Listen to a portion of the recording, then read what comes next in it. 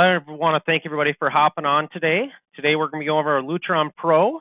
Uh, we are actually joined by Liz Tyaz, uh, and I hope I didn't butcher your last name. Um, Liz, are you there? Hello, yes. Hello, can you hear I me? can hear you. Perfect. I can. Well, I'm going to let uh, I'm going to hand it over to you, Liz, and uh, let you talk more about uh, what Lutron's got going on. Great. Thank you so much, Chris.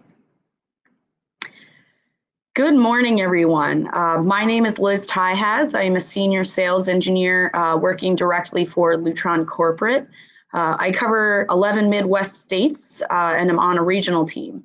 Um, so uh, I would be your direct contact as well as MRL company in Minnesota um, for uh, any questions you would have on Lutron. Today, um, we will be covering uh, Lutron Pro. So there are a few updates to that program. Um, if there are any of you who are already Lutron Pros, um, we'll talk a little bit about uh, some updates for you. And then, then for those who are not, a little bit more about how to sign up. Uh, we'll go over the new Lutron Shades program. It has changed, so whether or not you are already uh, an account with us, there are some details we need to go over. Uh, Maestro controls update, so standalone and system. And then lastly, we'll go over Radio RA2 Select um, and review all of uh, the programming details, what's changed with it, and some new features that have been added to it. So first for Lutron Pro, um, for those who are not already Lutron Pro uh, contractors. Essentially what it is is Lutron's program just uh, for your rewards and also to get visibility from the Lutron team for the amount of business you're doing. Um, it is great for pros who are doing Lutron systems. So that is Caseta, RA2 Select, Radio RA2. Um, those products actually automatically, once you have an account number and you put it in on your uh, you know, contractor mode page, once you put that account number in, any product that is on the system, including shades, will actually be added to basically your bank of points. And with your bank of points, you can buy uh, products. So that means you could accumulate enough points to build an entire Caseta system for essentially free. It's like free money. Um, and also, whatever you sell, um, we will be aware of and we can help you actually um, succeed with Lutron and get to the next level there. Uh, what's new is for those who are not Lutron pros, uh, there is a new Lutron Pro application. Um, it is brand new and it is all digital. And all you have to do is go in, fill out a couple of uh, questions, and then input a uh, purchase order of Caseta or RA2 Select. Um, it could also be Radio RA2, and that then qualifies you for the program. Um, so if you have any questions on that, uh, feel free to reach out to Capitol and their team. Uh, it is extremely easy, and we are actually more than willing to sign you up. We just need to make sure that you've purchased uh, the qualifying product. Oh, okay. So um, for Lutron Shades, um, so Lutron Shades, it's known as the triathlon product. So that's our battery powered shade that can go up to 12 feet by 12 feet. Um, you can also do it in a wired version. And with the with having a Lutron account, you actually get access to an automated drapery track line as well called Drapery Light. Um, so if you are in homes where you see an opportunity to start putting in automated shades, uh, I can confirm that it is a good investment. Um, fun fact, uh, Lutron's business, about half of the revenue, uh, sales revenue that we make is now automated shades. So, um, and I will say those who have sold a lot of Lutron in the past with lighting control systems, their business has also followed suit. So they're about uh, 50% of their sales revenue from Lutron is shades. So that is just just goes to show that it might be worth it to invest in this type of product. You do have to commit. Um, I will never tell you shades are easy and they are expensive mistakes. So you have to make sure uh, that you are trained. That said, um, there is a triathlon program that is in existence, and some of you may be on it um, and have ordered from Capitol previously. Uh, but we are actually changing that so that you get more access to product and you also get uh, more fabric options and you go to uh, an in-person training versus online. Uh, we found a lot of people ran into mistakes when they did the online training and said their feedback told us that they wanted to actually get physical, you know, I want to install this product because I'm afraid to, you know, make a costly mistake. So that is really what we changed and it's called Shade Essentials. So if you are already an account, um, you should have been approached by your Lutron representative about reapplying uh, by just filling out an application. So uh, you just need to get that. I think you can download it online. Um, if you sold a smaller amount of product, you might have to do an online certification. And then if you are new to the program or you sold, I believe, less than $10,000 cost, um, from your distributor or list price from your distributor, um, you would have to actually go to an in-person training. Now, all of those trainings are full. Um, they are coming out with 2020 dates. Um, so make sure you keep an eye out for that. Um, it is a two-day. It will either be in our, our locations in um, California. So that would be Irvine, California by LA, Fort Lauderdale, Florida. There's also some in Coopersburg, Pennsylvania, which is our uh, lovely homeland. Um, that is where you would have to essentially fly to. We're looking to get some in Chicago, um, but they are not yet scheduled. And from there, you would actually go to a two day training where you would go over the entire product and you would have some installation experience. So it would make you much more likely to be successful in the field. And then lastly, as I mentioned previously, once you start doing shades and you're a Lutron Pro, all of your shades are automatically added to your point count. And shades actually are oh, quite a bit more expensive than an individual dimmer, so it adds up quite quickly. And um, you will definitely be able to see the benefits of selling shades through your points in general. You might get uh, more free product than you know what to do with. Uh, so definitely take that into account. So uh, Lutron product updates. What we're focusing on today are Maestro dimmers, switches, and sensors, updates there on the standalone and um, system-oriented product. And then we're gonna go and pass Caseta uh, and then talk about RA2 Select. But I have Caseta up there because it is a stepping stone and you have to know Caseta to understand why RA2 Select really is um, the step up in lighting control before jumping to Radio RA2, which is again that full product that you need to go to train in-person training for. So some fun updates. Um, there are a lot of Maestro dimmer sensors out there that people are unaware of. Um, this is what we would call the smart home without the smart in it, right? You don't need to put it on a smart system. Uh, maybe the client is extremely conscious of how expensive RA2 Select is, and they say, you know what, I don't want to put it in the kids' bedrooms or the laundry rooms or the closets. So uh, a good alternative is to give them the option of a dimmer sensor. Um, so you'll see we have a C.L dimmer sensor, which is uh, CFL LED. So it can do uh, forward phase LEDs and compact fluorescence. Uh, next, you have your, maybe you would use this in more so of a commercial application, your 120 volt uh, 277 volt, 6 amp options. Um, we've got a 6 amp PIR dual circuit. That's, you know, basically having two switches. And just so you know, these sensors are, um, it's called passive infrared. So it is using a very important technology called XC, XCT to basically bounce around the room and sense uh, if there's someone behind a door or behind glass. So it's much more likely to pick up what I would say typing level of movement would be uh, versus, you know, what we say having to kind of wave down a plane. Uh, with Lutron products, that is much more, uh, much less likely. Then you have your dual tech switch, 6 amp. Um, that is using actual like radio frequency to bounce off the walls. Usually people see this in a bathroom. And then if you found you can't find a Lutron 0 to 10 volt dimmer, uh, we have a 0 to 10 volt uh, option for you with the Maestro sensor. Next is if you're not quite there yet with system, which I'll run into exactly what that is if you have questions, um, you can do standalone Maestro RF products. So what you see in the bottom left here is a Pico remote that speaks radio frequency, also known as Lutron's Clear Connect. 434 megahertz, it transfers very little information, only that you want however many lights it's paired to to turn on. Then to your right, uh, you have your lamp dimmer and your in-wall dimmer, Maestro.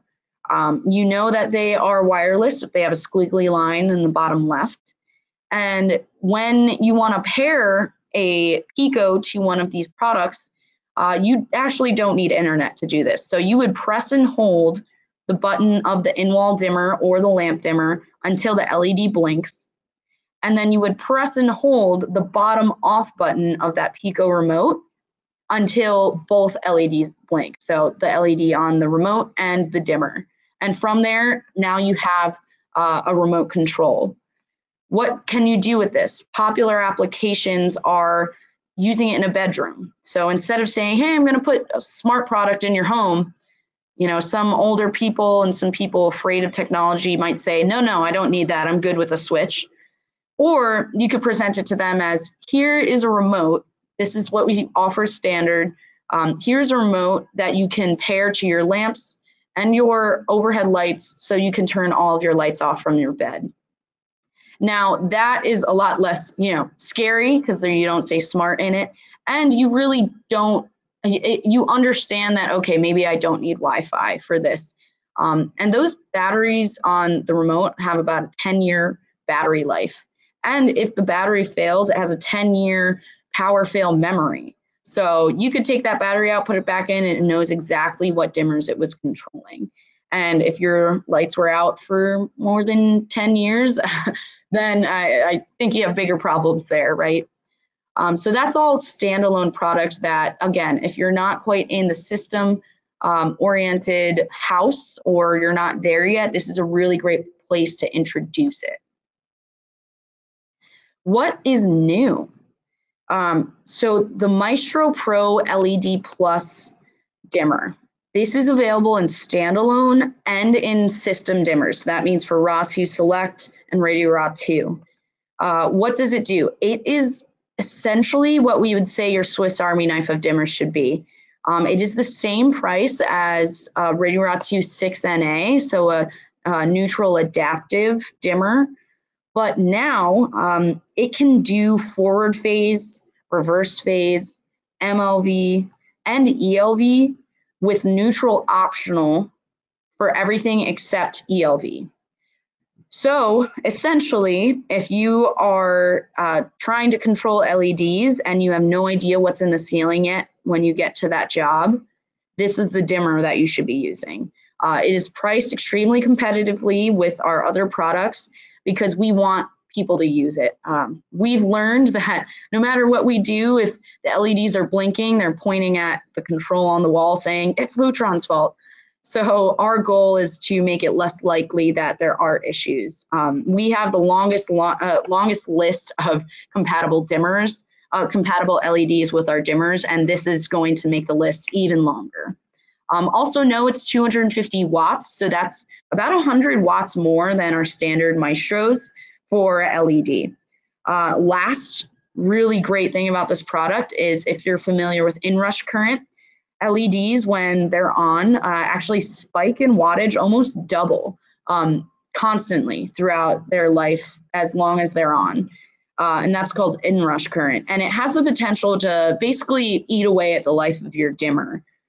This product has Artist technology, which is what we use commercially to basically use a capacitor in the back of that dimmer to take in that inrush current and disperse it over time. So you can put 250 watts of LED on that dimmer and not worry versus, you know, if you've ever counted maybe 50 watts because you don't know these LEDs are going to try and burn out that dimmer. But know that this dimmer is resistive to that. So next we will move on to RA2 Select. I'll speak a little bit to Caseta just as a comparison. So um, if you guys are familiar, we have Radio RA2. Radio RA2 is your standard large house uh, full home system, right? So every dimmer is on the system and maybe you have shades as well. Thus, you need maybe 200 devices, right? So this can do up to 200 devices. Um, it can have an extendable range wire so you can make the pool house that's a thousand feet away, uh, put it on the system. There are in ceiling, you know, LMJ modules that you can put um, against your fixture and be able to put that on the system. And there are also wired keypads. So that's very key. You're not depending on remotes. So it's a really important and robust system. But the thing is, you do need the actual programming software to program it, meaning you have to either do online, which can get you up to 100 devices. Uh, you can do that on LCI online, or you have to go to in-person training, which is, uh, you know, maybe twice a year in Chicago, and it costs a certain amount of money, and you have to have a computer and you have to be able to program it there. So uh, just a little bit more work to get to, you know, achieving the ability to program this product. Um, then we had Caseta. So uh, Caseta is a very popular product, honestly, everywhere. It's our fastest growing category because people understand it.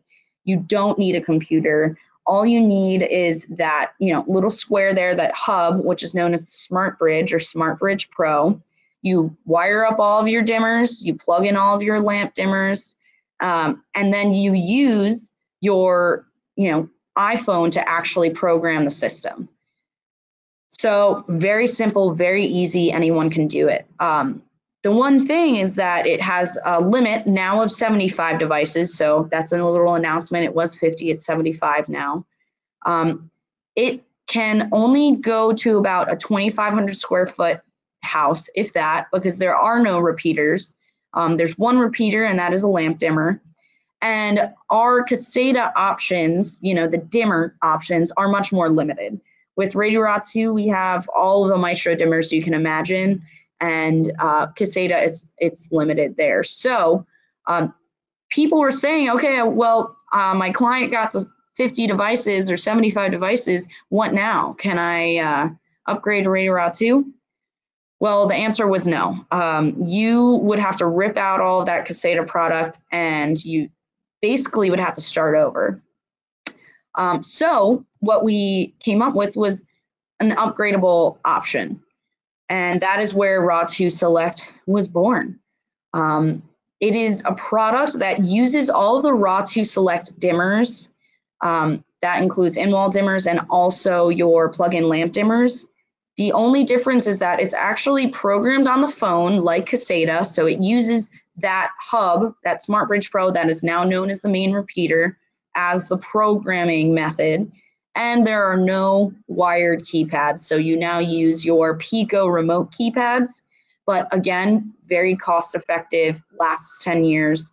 It has the ability to get close and also do up to 100 devices. So what are your options here? If you're familiar with Radio RA2, you know all of your Maestro options. We talked about a few of them before. Um, but you get your Maestro dimmers and switches. So that's ELV, that's adaptive, that's a thousand watt. You get a Maestro fan control, a plug-in appliance module for larger loads like you know Christmas lights. You now also use Pico Scene keypads, which are shown here. These are now stocked. So although they are a little bit more expensive than your standard light Pico, uh, you can actually get the entry bedside kitchen family room in any room Picos already engraved.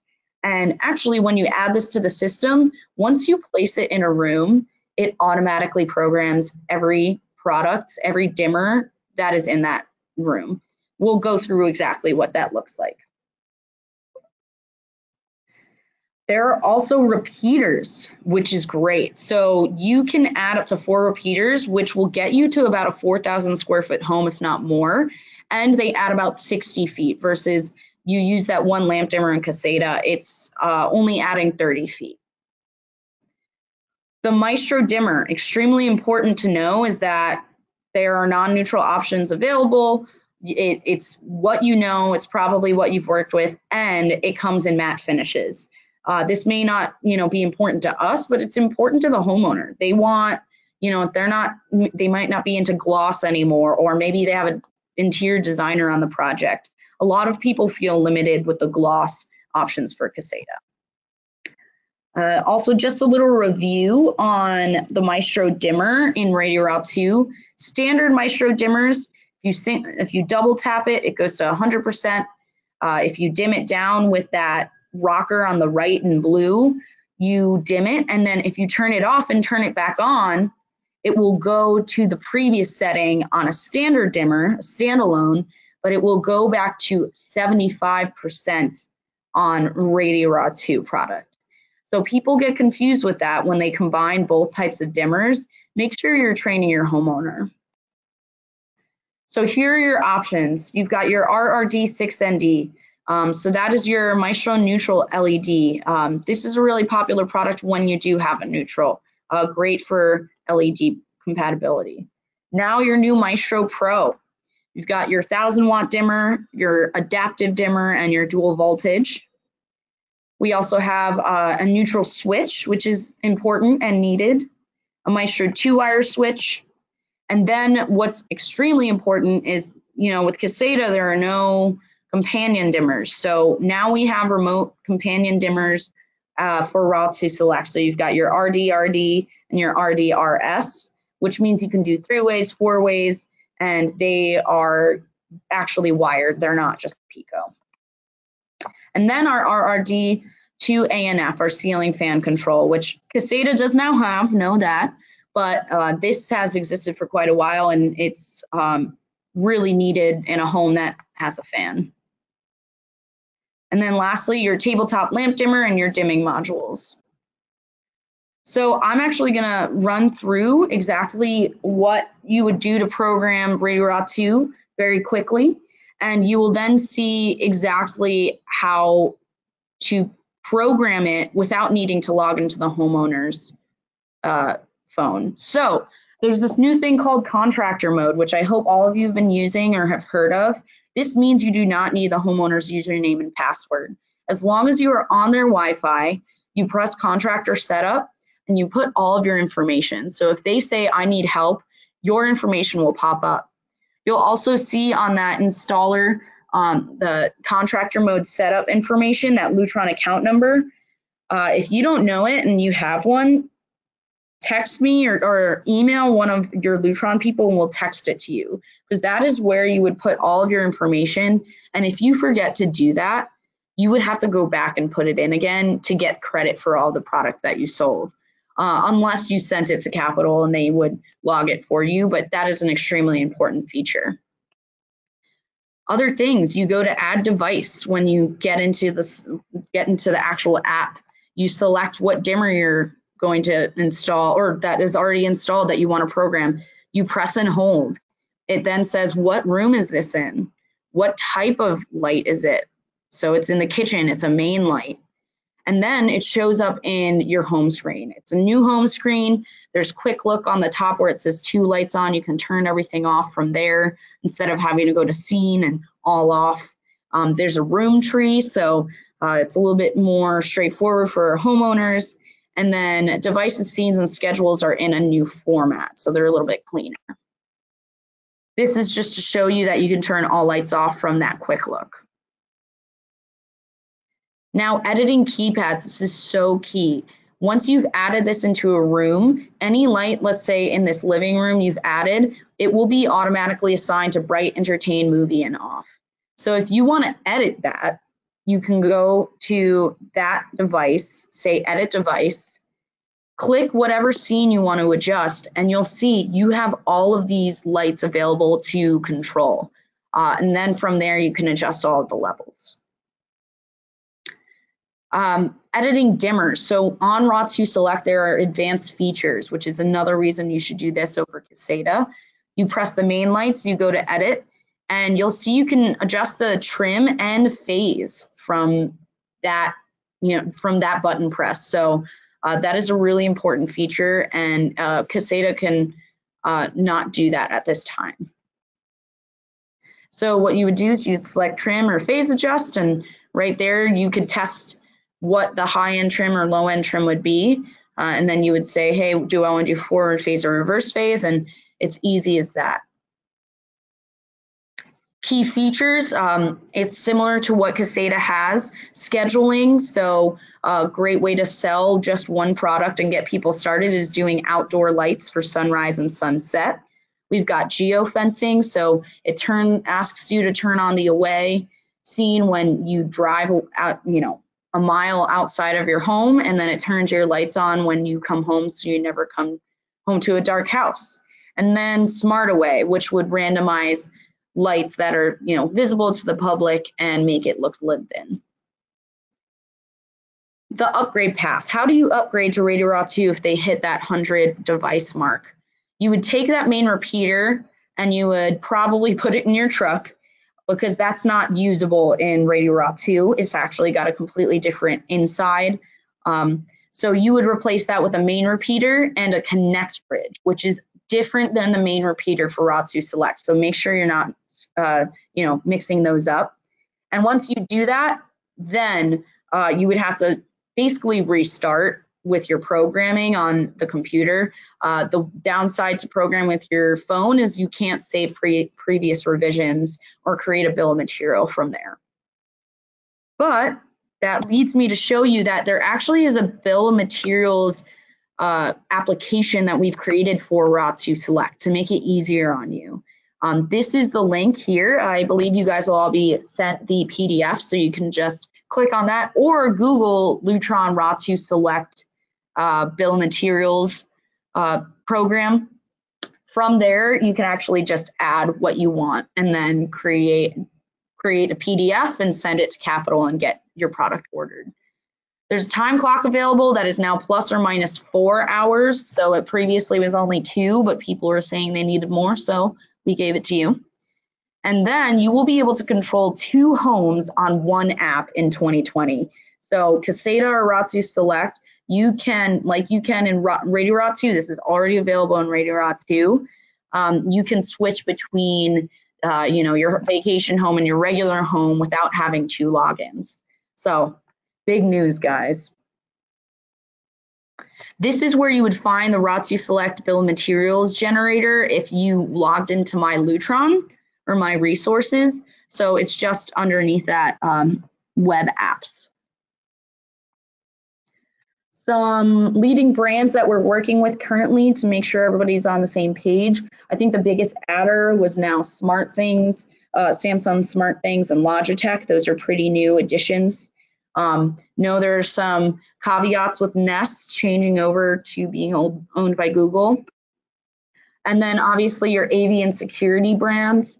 Uh, these are currently who we are working with, and uh, they are working with us really, really well. So if you have any questions on how to do that, um, a lot of it is actually going through the Connect Bridge and our our third party iCloud integration versus directly through like a contact closure or something. So um, there's a lot of new stuff on that, so make sure you stay up to date. That is all I have for you today. Uh, I will open it for questions for the remainder of this time. So I will drop this down. Thanks, Liz. Uh, we'll wait and see if any questions roll in. Uh, we've had a lot of people online watching the webinar, um, and you did an awesome job going through products, going through the different lines. Uh, and maybe you did too good of a job because we don't have any questions rolling in yet. That's quite right. yeah, well, guys, uh, if you know, we're we're gonna keep going for a little longer just to see if there's any questions. And I know how it goes. Uh, as soon as all of a sudden tomorrow, today, next week, next month, you got a project come up, and questions arise. If that happens, feel free to reach out to myself at Capitol, any account manager at Capitol. Uh, MRL, which is the local rep firm, uh, Liz or Lutron, uh, we're all here to help you out. We all love to hear about your projects and love to talk to you. Uh, we just had a question come in. Uh, the question is, can you use occupancy sensors with the Select? Yes, great question. Uh, that slide actually wasn't on here, but you can add occupancy and vacancy sensors, the ceiling mount ones and also the hallway ones to your system. Um, and you can actually set occupancy and vacancy from the app as well. Great. And are there any plans to allow custom engraving on RA2 Select keypads? Another great question. That is currently available, actually. Um, we just stock those standard ones that I showed, but if you uh, wanted to, you could actually submit an engraving. You could actually Google uh, engraving Lutron Pico keypad, and from there, it would be. I think. Uh, I think it's a thirty dollar adder. You can get what you want on that keypad. Um, another thing that it said on the slide, I believe, but I didn't point out, uh, you can get Pico remotes currently in satin colors. So um, that would be your midnight, your light almond, and your snow. So uh, you can get it in that matte finish. I am a big proponent for that that finish because, for example, I have a black gloss Pico remote on my um, end table and it gets kind of dusty. And then I switched it out for one of the matte ones and it's very, very high quality finish. So it doesn't get dusty at all. So just know that's an option as well. Great. And uh, what is the cost and setup uh, steps somebody has to take to get set up for triathlon shades? A great question. So I believe the uh, Shade Essentials training, the in-person one, is um, $350. Um, I, I do want to check. I just sent someone this. Um, yes, I just sent someone this. So let me just double check exactly how much that is. Um, um, I got Tim or Jarrett. I want to make sure I get it for you here.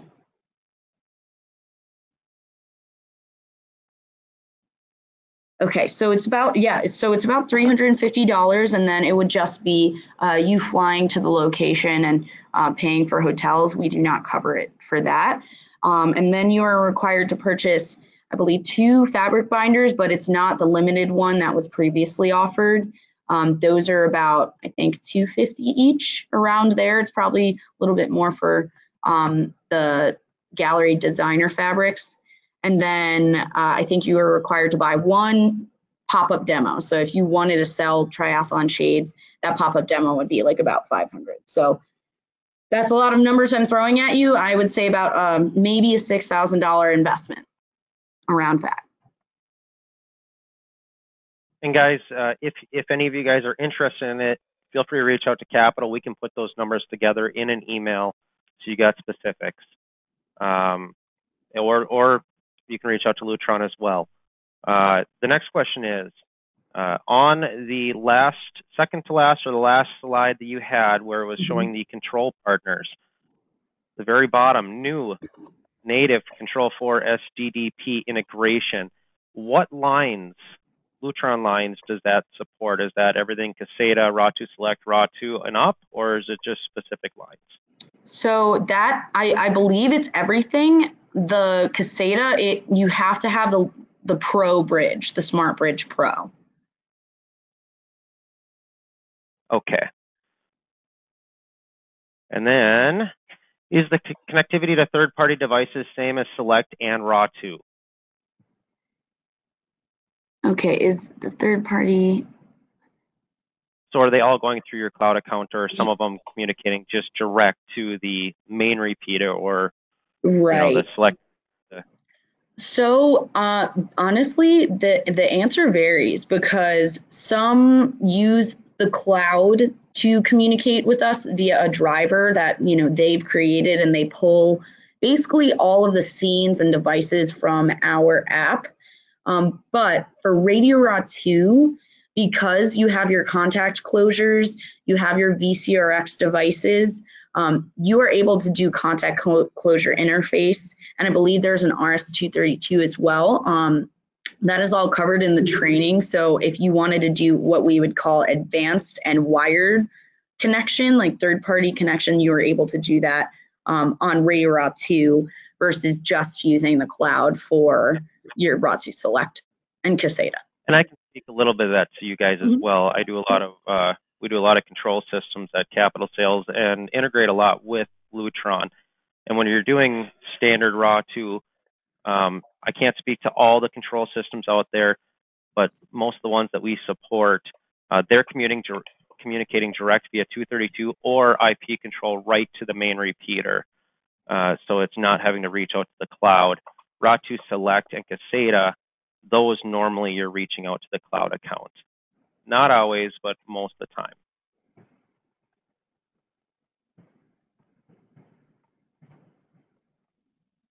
Next question, Control 4 with Radio Raw 2, it uses Telnet uh, to the main repeater. Yes, that is, yep. So Control 4, RTI, URC, um, Crestron, AMX, those guys are all communicating right to the main repeater through Raw 2. They're not needing to go out to a cloud account. Mm-hmm. Great questions, guys. Uh, any other ones? And like you said before, I understand as soon as uh, we get off the uh, end the webinar, questions will start rolling in. Uh, if that happens, feel free to reach out, call, email, uh, whatever works best. Myself, Capitol Sales, MRL, Lutron, we're all here to help answer questions. Um, and love to chat about projects. We love to hear what's going on out there and brainstorm. And if there's any uh, any things to say, hey, can this? Can we do it? We like uh, we like the challenges.